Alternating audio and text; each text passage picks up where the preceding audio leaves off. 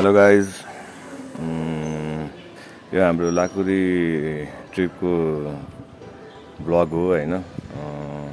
Please राम्रोसँग हेरेर subscribe गरिदिनुहुन्छ भन्ने आशा राखेको छु।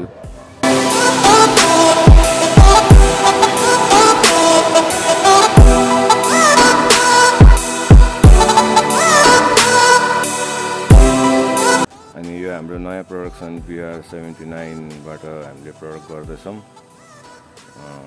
जानकारी तल डिटेल्समा पछि तपाईँहरू हेर्न सक्नुहुन्छ।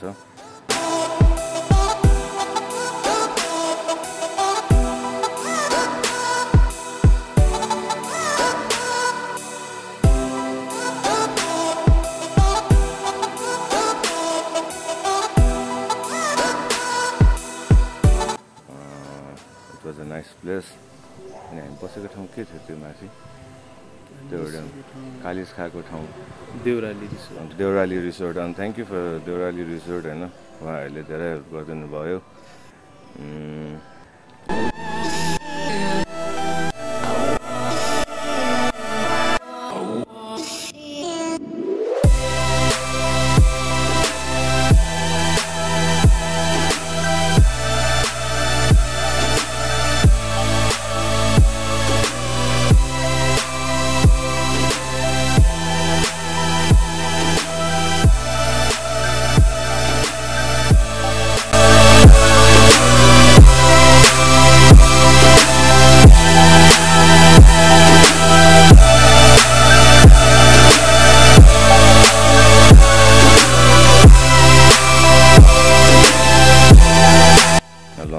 खाएको थियौँ अनि ब्याड लक